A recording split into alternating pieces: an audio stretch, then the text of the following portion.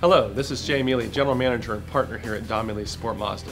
The following informational video has been brought to you by the experts at Sport Mazda.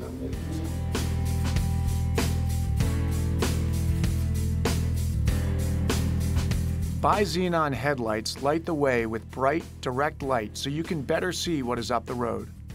To turn the bi-xenon headlights, other exterior lights, and dashboard illumination on or off, turn the headlight switch at the end of the lever. To turn on the high beams, push the lever forward. To return to the original position for the low beams, pull the lever back.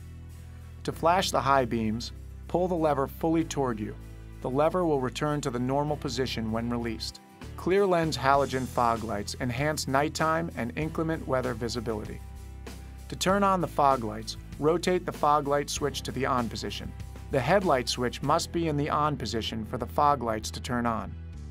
To turn off the fog lights, rotate the fog light switch to the off position or turn the headlight switch to the off position. The fog lights will turn off when the headlights are set on high beam.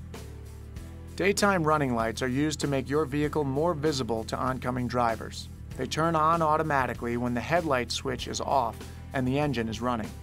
They also turn on if the headlight switch is in the auto position if it is light enough that the headlights stay off. They turn off when the ignition is switched off.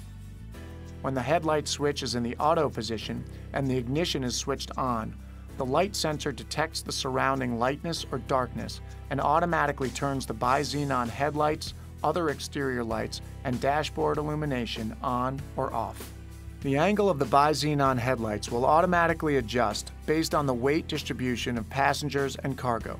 The adaptive front lighting system automatically moves the bi-xenon headlight beams to the left or right in conjunction with the operation of the steering wheel.